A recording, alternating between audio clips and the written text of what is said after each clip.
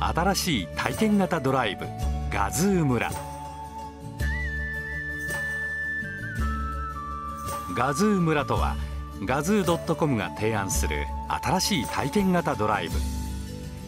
大自然に囲まれた農産漁村に暮らす村の人々との交流を通じて都会の日常生活では体験できない出会いと発見そして癒し感動体験をプロデュースしています。ガズー村北陸信越ブロック。佐渡。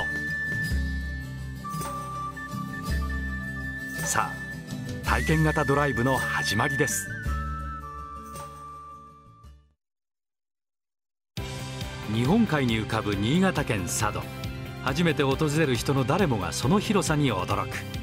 島の北側にある大佐渡山脈と南の小佐渡山脈。その間に広がる米どころ国中平野によって形成され緑広がる山々と美しい海そして空に囲まれた雄大な自然によって形成されている。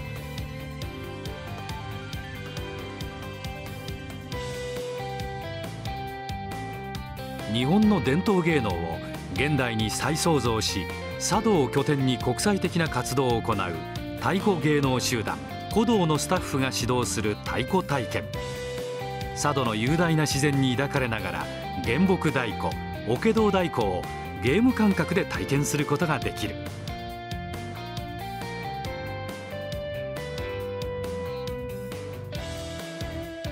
佐渡沖を流れる対馬海流の影響で冬は本土よりも12度暖かく夏は本土よりも12度低く比較的過ごしやすい気候である佐渡。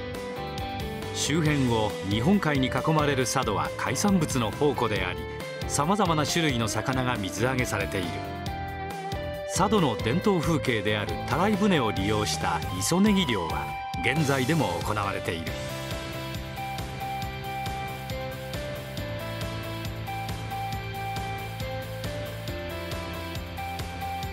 自然の豊かさゆえに季節ごとにさまざまに表情を変えていく佐渡。ここでは他にはない独特の文化歴史自然を丸ごと体験することができる。ゆったり流れる島時間の中で日常から離れたひとときを過ごせる村である。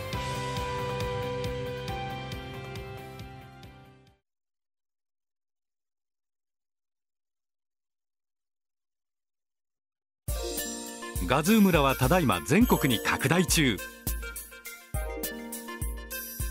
皆さんもガズー村へ体験ドライブしませんか？